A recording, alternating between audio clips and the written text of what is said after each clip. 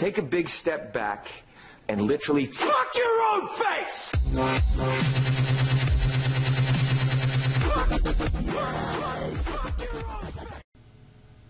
What's up, guys? Uh, CS Joe, and uh, this is like a follow up video to the video I posted yesterday of uh, the Diablo 2 plus Lord of Destruction tutorial.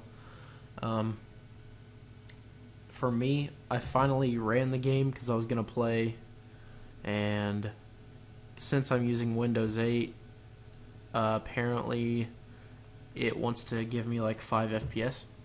So I figured out how to fix it and I thought it might be kind of complicated or time consuming to have to read a guide online, so I figured I would just make a video of it. Uh, I'll put a link in the description for this file. This is all you'll need to fix it if you're having like terrible frame rates. Uh, basically, what you need to do is uh, go to your Diablo 2 directory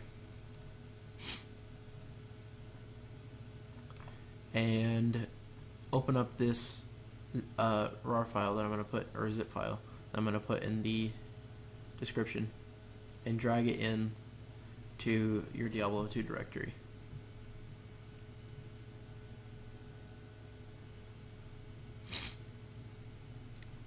Once that's done, uh, run this glide with the little green and red uh, icon.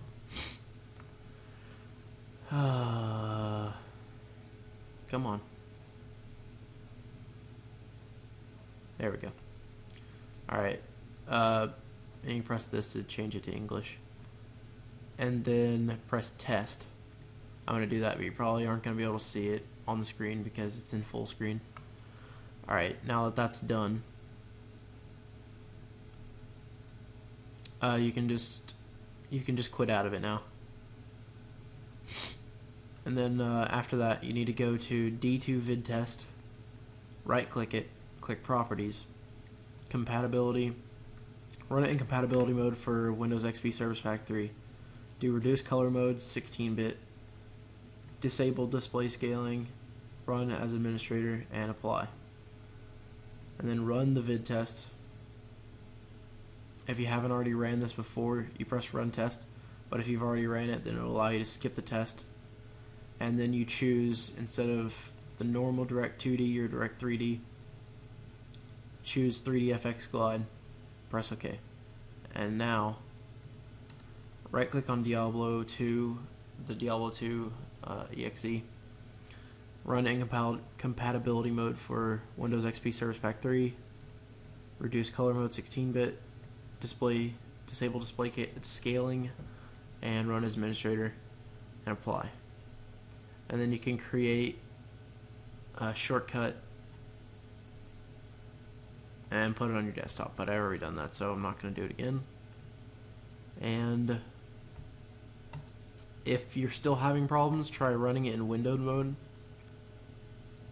which I'm going to do because otherwise you won't be able to see it on Camtasia but I'm just going to show you that I no longer lag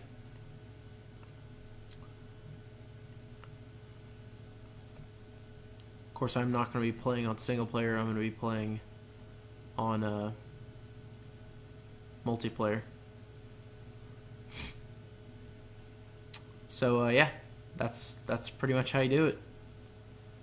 And it might be a little laggy because I'm running Camtasia, but it runs perfectly fine uh, when I'm not recording. So that's all that matters. And so yeah, so that's how you do that. And uh, thanks for watching. Have a good day.